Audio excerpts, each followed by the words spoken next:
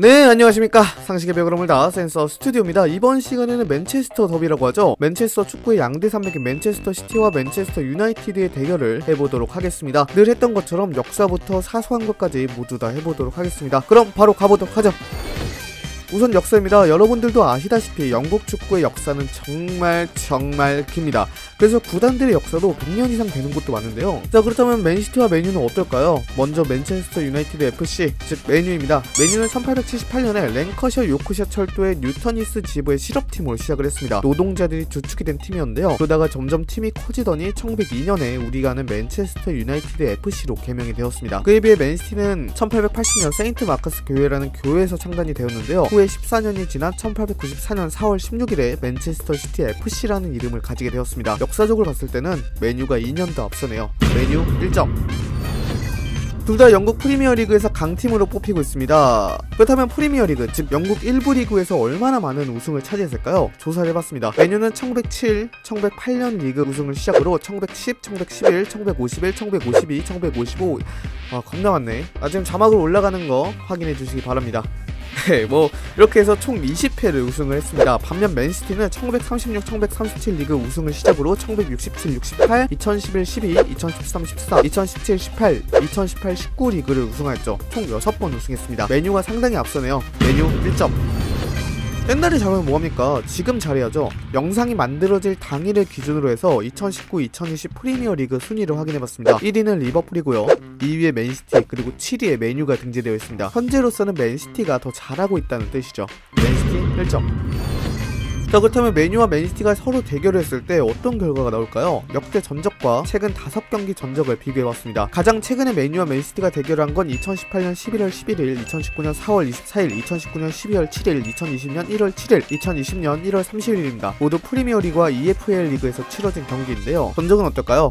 맨시티 3승, 맨유 2승, 맨시티 1점. 그러면 가장 마지막 경기인 2020년 1월 30일을 기준으로 해서 체크를 해봤습니다. 총 181경기를 했는데요. 그중 무승부만 52경기나 됩니다. 그걸 빼고 계산을 해봤습니다. 맨유 75승, 맨시티 54승, 맨유 1점. 미국의 경제 잡지인 포브스는 매년 세계에서 가장 가치 있는 구단을 선정해서 발표를 합니다. 물론 미국의 팀들이 대다수긴 하지만 이 순위에 맨유와 맨시티도 포함이 되어 있죠. 항상 말입니다. 여기서 말하는 가치는 순수한 경제적 가치를 의미해서 구단의 경제적 가치가 어느 정도인지 객관적으로 확인할 수 있습니다. 그렇다면 바로 확인해 보도록 하죠. 2019년 기준으로 확인해 봤습니다. 맨체스터 유나이티드 3조 8,100억 원, 맨체스터 시티 2조 6,900억 원, 맨유 1점. 클럽의 기록을 확인해보는 것도 정말 재미있는 지표일 것 같습니다. 클럽 기록 중 최고 이적료 영입, 최고 이적료 방출, 최다 출장, 최다 득점, 리그 득점왕으로 구분해서 비교를 해봤습니다. 맨유가 전부 다 이길 것 같긴 하지만요. 우선 최고 이적료 영입입니다. 맨유의 최고 이적료 영입은 2016년에 유벤투스에서 영입한 폴 포그바인데요. 그 가격만 8,900만 파운드입니다. 한화로 1,391억 9,511만원. 허, 진짜 많네. 반면 맨시티의 최고 이적료 영입은 로드리입니다. 아틀레티코 마드리드에서 2019년에 영입을 했죠. 가격은 6,300만 파운드, 한화로 985억 3,137만 원, 맨유 1점.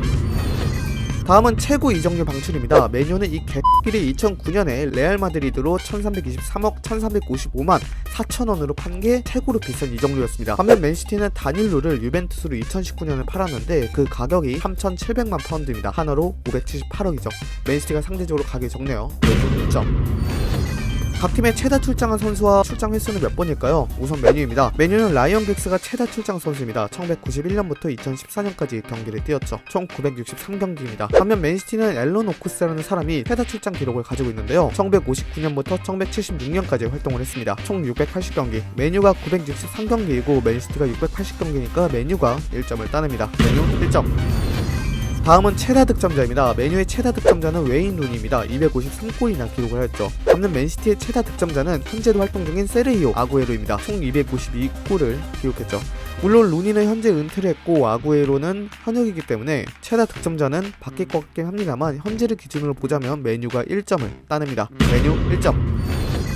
다음은 리그 득점왕입니다. 자 누가 있을까요? 맨유에는 총 7명의 리그 득점왕이 나왔습니다. 1959-60 시즌에 데니스 바이올렛, 1967-68 시즌에 조지 베스트, 1998-99 시즌에 드와이트 요크, 2002-2003 시즌에 뤼트 판니스텔로이, 2007-2008 시즌에 게스 2010, 2011 시즌에 디미타르 베르바토프, 2012, 2013 시즌에 로빈 반페르시.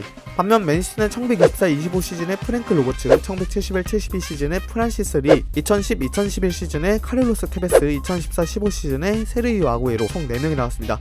역시 맨유의 역사가 더 탄탄하고 전통이 있다 보니까 맨유가 모든 기록을 휩쓸어 간것 같습니다. 맨유 1점. 자 그렇다면 한번 선수 개개인의 역량도 체크해볼까요? 최근의 기준으로 해서요. 프리미어 리그와 EFL 챔피언십, EFL 리그 1, EFL 리그 2 소속 선수들을 대상으로 PFA가 베스트 11을 선정하고 있습니다. 가장 최근에 선정되었던 2018-2019 PFA 올해 팀에는 과연 누가 선정되었을까요? 맨시티와 맨유 선수들만 확인해 보겠습니다. 우선 맨유입니다. 맨유는 미드필드의 폴 포그바가 선정이 되었습니다. 한 명만 선정이 되었죠. 그렇다면 맨시티는 누가 선정이 되었을까요? 세르히오 아구에로, 라힘 스털링, 페르난지뉴, 베르나르드 실바, 에므리크 라포트, 에데르송 무려 6명이나 선정되었습니다. 11명을 뽑는데 6명이나 선정된 건 그만큼 최근에 맨체스터 시티가 얼마나 돌풍을 일으켰는지 잘 알 수 있는 대목이죠. 맨시티 1점. 네, 제가 역사와 기록을 중심으로 다루다 보니까 맨유가 점수를 좀 높게 받은 것 같습니다. 하지만 확실한 건 최근에는 맨유보다 맨시티가 더 잘한다는 것이죠. 순위나 베스트 11에서 볼 수 있듯이 선수 개개인의 역량도 뛰어나고 프리미어 리그를 휘어잡는 팀의 역량도 뛰어납니다. 앞으로 어떻게 흘러갈지 무궁무진하죠. 다만 최근에 UEFA에서 맨체스터 시티의 FFP 룰 위반을 인정하게 되면서 맨시티가 위기를 겪고 있습니다. 어떻게 흘러갈지는 향후 결과를 확인해야겠지만 이번 사건이 최대 위기인 것 같습니다. 잘 해내길 빌게요. 이상 영상 마치도록 하겠습니다. 빠이엄! 이상 상식의 비그럼을 단 센서 스튜디오였고요. 주제를 신청하시려면 댓글로 센서 스튜디오의 더 많은 영상을 시청하시려면 구독과 좋아요, 알람 설정을 해주시면 감사하겠습니다. 감사합니다.